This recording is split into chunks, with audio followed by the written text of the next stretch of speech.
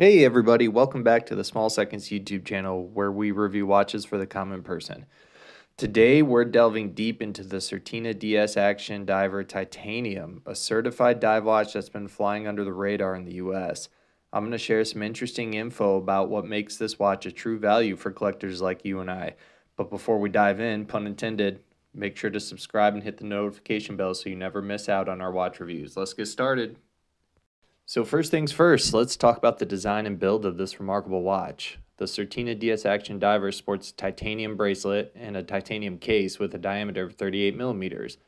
Because titanium weighs about 50% of stainless steel and is rust proof, it's not only aesthetically pleasing, but it's also built to withstand the harshest underwater conditions.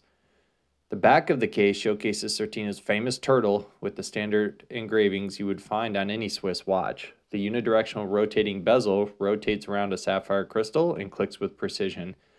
This quirky gray color of the bezel looks almost brown in some lighting. The watch's black dial is not only elegant, but also highly legible and clean, with circular indexes at all markings except the 12369, with a date box at the 3 o'clock. The Superluminova coating on the hour markers and hands is exceptional, and the blue color is a nice touch to the already simple design. The DS Action is powered by the Swiss-made ETA Powermatic 80 movement, known for its longevity and durability. The 80-hour power reserve is more than enough for an extended dive weekend. And lastly, water.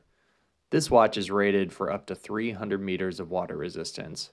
Whether you're a seasoned diver exploring or just enjoying some snorkeling, this watch can really do it all. One thing that sets this watch apart is its certification. The Certina DS Action Diver is ISO 6425 certified, which is the international standard for dive watches. To earn this certification, a watch has to meet a strict set of criteria. It must have a minimum water resistance of 100 meters, a unidirectional rotating bezel, luminous markers, and be resistant to magnetic fields and shock. This watch checks all those boxes and more, all for right around $1,000. So, why do I love it? The Certina DS Action Diver is a fantastic value for watch enthusiasts like ourselves.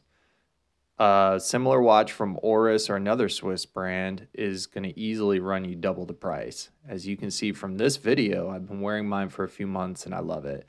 Its ISO certification, blue luminous markers, the longevity of the movement, the incredible water resistance, all these things make it a standout choice for people looking to spend $1,000 on a diver. On the gray market, if you can find one of these, they're tough to get. This watch will run about 700 bucks and is completely worth it in my opinion.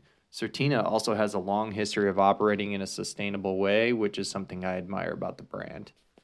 Thanks for checking out this review today. Don't forget to subscribe to our channel and check out our website, smallsecondsfp.com. Cheers.